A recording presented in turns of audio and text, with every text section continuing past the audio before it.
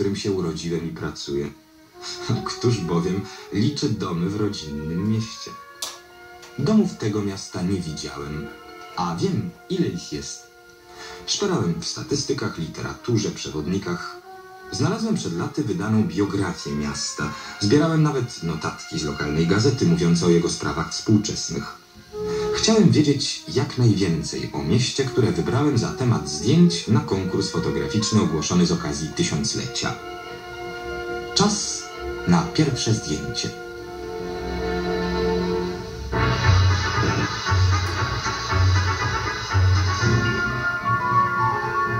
Było trzy karczmy, bram cztery ułomki, klasztorów dziewięć i gdzieniegdzie domki. To Ignacy Krasicki. Spędził w Lidzbarku kawał życia. I gdzieniegdzie domki. No, niezupełnie. W Lidzbarku na powierzchni 1300 hektarów stoi 850 domów. 52 zbudowane niedawno i zupełnie porządnie. Szkoły, kino, dom kultury, sklepy, jarzeniówki. Słowem wiek XX. W mieście przed 800 laty nazwanym przez Prusów Lecbargiem żyje dziś ponad 12 tysięcy obywateli. Lubią uciąć pogaduszkę o sławnej przeszłości, ale stoją do niej trochę tyłem. W każdym razie więcej się tu ostatnio mówiło o nowych, pachnących farbą murach, aniżeli o zabytkowym gotyku. W styczniu rozpoczęły produkcję zakłady dziewiarskie przemysłu terenowego Argona. Mikroskopijna, nowoczesna fabryka produkuje swetry, koszule, polo, bluzki. Zdążono przekroczyć już plan. Najważniejsze jest jednak, że w Argonie znalazło zatrudnienie ponad 100 kobiet. 30 milionów litrów mleka wlewa się rocznie do zbiorników lidzbarskiej mleczarni. Zakład jest nowy. Zbudowano go przed dwoma laty. Zatrudnia obecnie ponad 300 osób. Masło, którego rocznie mleczarnia produkuje 500 ton, smakuje zjadaczom chleba nie tylko w kraju. Podobnie zresztą jak sery. Co roku 1300 ton tylżyckiego trapistów Camemberta opuszcza lidzbarską mleczarnię, wędrując do Włoch, Anglii, Egiptu, Indii i Stanów Zjednoczonych oraz do krajowych sklepów. Twarożek, mleko w proszku, jogurt i maślanka dopełniają produkcji.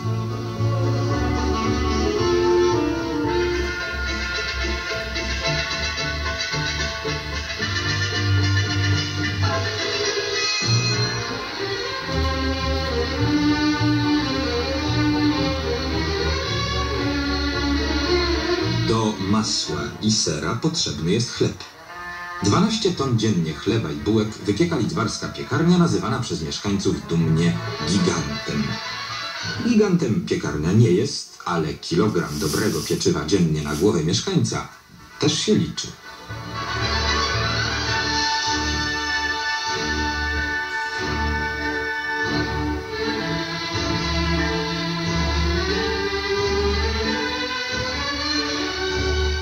Chleb z masłem i serem były mi przez dwa pierwsze dni jedynym pożywieniem.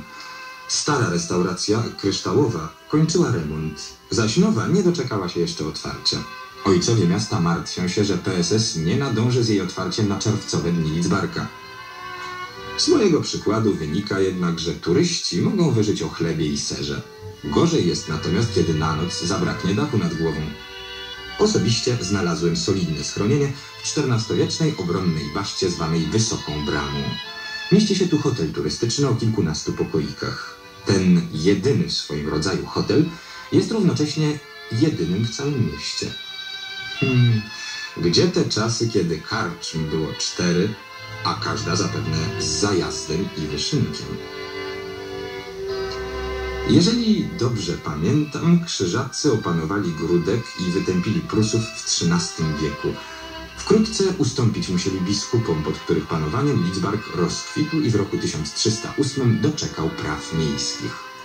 Biskupi warmińscy bronili się przed zakonem krzyżackim przez wiele lat. Nie zawsze im się to udawało. Nie zawsze tego pragnęli.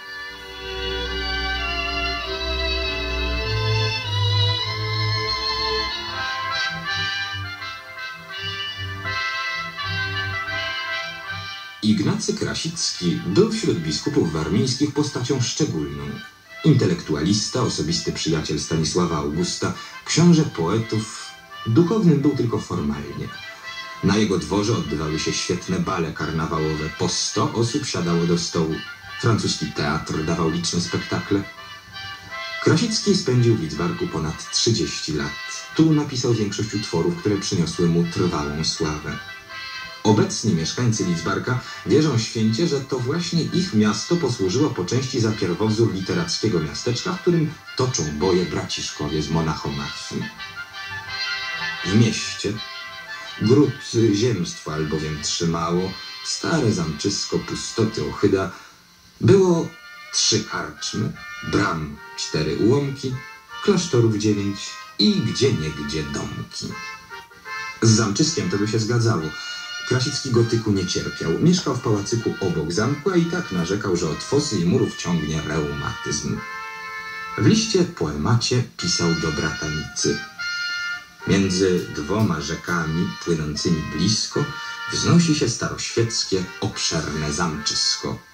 A te, które je zewsząd otaczają mury, tak subtelne, iż w naszym miłym horyzoncie, choć południe u okna, zawsze wieczór w kącie. Izba, gmach na kształt kościoła. Jak w niej dawni podczas zimy przebywać mogli pojąć trudno, ale kryte drzwi w podłodze ułatwiają rzecz. Choć zimno w niezmiernej sali, jednak się w niej dawni grzali. Każdy do niej wespół śpieszył, trunek wzmagał, rzeźwił, cieszył. Do tego obrazka z listu dopisać wręcz można dalszy ciąg z monachomachii. Bracia najmilsi, ach, cóż to się dzieje, cóż to za rozruch u nas niesłychany, czy do piwnicy wkradli się złodzieje, czy wyschły kufle, gąsiory i dzbany? Wtem się zakrztusił, jęknął, łzami zalał, przeor tymczasem pełny kubek nalał.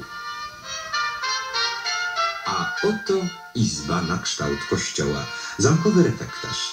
Na ścianie poczet biskupów warmińskich, a wśród nich nazwisko i herb Ignacego Krasickiego, księcia poetów, który lekką ręką dworaka przerzucał zgrabne wierszyki, ale potrafił jak nikt inny dobrać się współczesnym do skóry.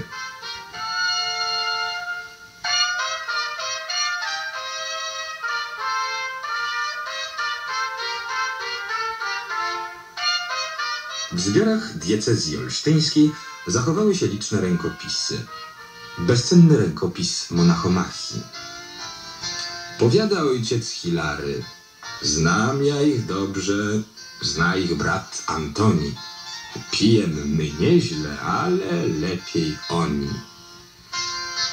Autorem ilustracji do pierwszego wydania Monachomachii jest wspomniana już bratanica Krasickiego. No oczywiście na tym wydaniu nie ma ani jej nazwiska, ani Krasickiego i bez tego byli w opałach. Ocalał również rękopis bajek z dedykacją Krasickiego. Nie wszyscy pamiętamy pełne strofy bajek, ale ich morały znalazły się od dawna w języku potocznym. Dla was to jest igraszką, nam chodzi o życie. Wśród serdecznych przyjaciół psy zająca zjadły. Pisał Krasicki z zamiłowania wiersze, pisał z obowiązku listy, które opatrywał podpisem i pieczęciami. Oficjalna korespondencja między dworem polskim a siedzibą biskupów warmińskich jest bardzo bogata. Wprawdzie na mocy układów toruńskich Warmia wraz z nią Lidzbark znalazły się w roku 1466 pod panowaniem polskim, ale pełnię władzy świeckiej i duchownej sprawowali tu biskupi. Praktycznie owo księstwo biskupie związane było z krajem jedynie osobą biskupa, który piastował godność senatora Rzeczypospolitej. Królowie zadawalali się wpływem na wybór osoby biskupa, co też miało miejsce dopiero od połowy XVI wieku. Poczet polskich biskupów rozpoczyna w XVI wieku Stanisław Hozjusz, jeden z najwybitniejszych przywódców obozu kontrreformacji w ówczesnej Europie. Bezpośrednio po nim władzę objął Marcin Kromer, postać wybitna, autor wielu prac polemicznych i historycznych.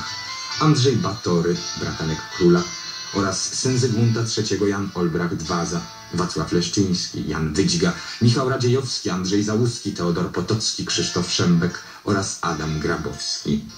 To kilku spośród 17 polskich biskupów, z których ostatnim był Ignacy Krasicki. Miał Lidzbark szczęście do ludzi światłych. To właśnie Adam Grabowski odnalazł w archiwach Biblioteki Biskupstwa i polecił wydrukować kroniki Gala Anonima i Kadłubka. Zresztą i w okresie poprzedzającym Hozjusza byli w Lidzbarku wybitni. Jan Dantyszek, znany w Europie poeta, był wreszcie Łukasz Wacenrode, wuj Kopernika. Zresztą i Kopernik przebywał w Lidzbarku jako dworzanin wuja przez 10 lat blisko. Niewiele zmieniły się te mury od tamtych czasów. Tu pracował nad przekładem z greki listów Teofilakta Symokatty, sielskich, obyczajowych i erotycznych, które oddał potem do druku w Krakowie. Tu wreszcie spisał pierwszy wykład swojej teorii, która kazała zatrzymać się Słońcu i pchnęła naprzód Ziemię.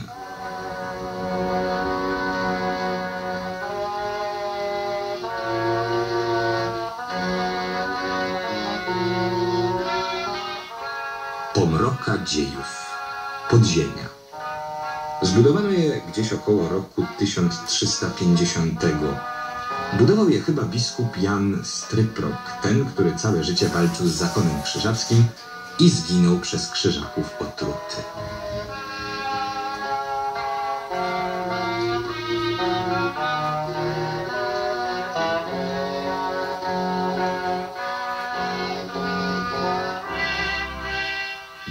Rację Krasicki. Zawsze wieczór w kącie, istna lodówka z kamienia. Tymczasem nad fosą słonecznie i ciepło.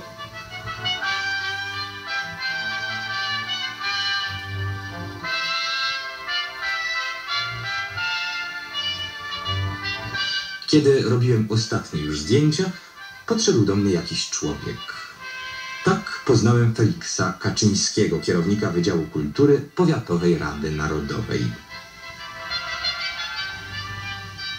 Wielki Zamek Lidzbarski, wspaniały zabytek przeszłości, staramy się wedle naszych możliwości jak najlepiej wyzyskiwać.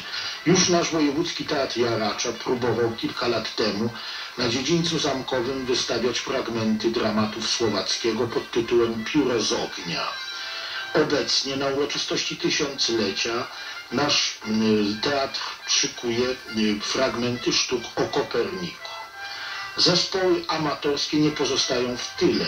W tej chwili istnieją daleko zaawansowane przygotowania do wystawienia adaptacji scenicznej Konrada Wallenroda również na dziedzińcu zamkowym. Ale wykorzystanie zamku to nie tylko dziedziniec, to także wspaniałe sale. Wszystko się zaczęło od uroczystości 650-lecia istnienia naszego miasta, nadania mu praw miejskich. Wtedy to właśnie zainteresowano Muzea Warszawskie mm, Zamkiem Lidzbarskim, a szczególnie mm, profesora doktora Stanisława Lorenca, dyrektora Muzeum Narodowego w Warszawie. Pierwsza ekspozycja miała miejsce w roku 1959. Następne lata przynosiły ciągle nowe tematy muzealne, a więc Ignacy Krasicki i jego epoka. Epoka oświecenia pokazana nie tylko od strony literatury, nie tylko od strony sztuki, ale i od strony przemysłu, od strony rękodzieł.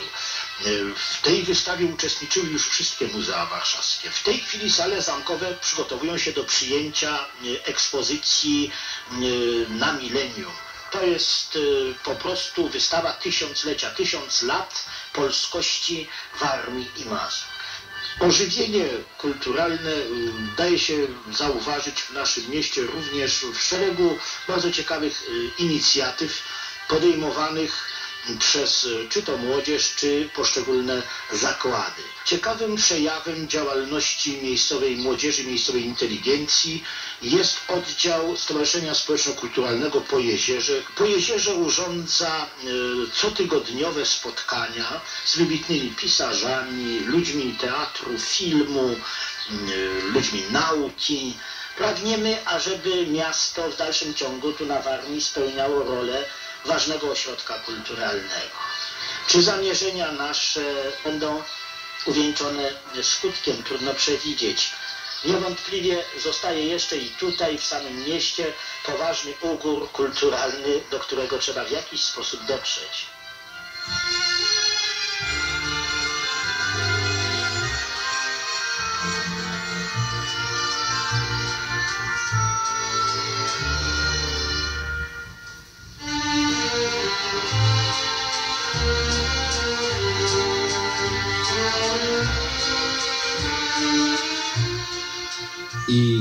Kto powie, że Lidzbark nie jest ciekawym miastem. Wrócę tu jeszcze kiedyś. Muszę tylko pamiętać, że miejsce w hotelu w średniowiecznej baszcie trzeba rezerwować znacznie wcześniej.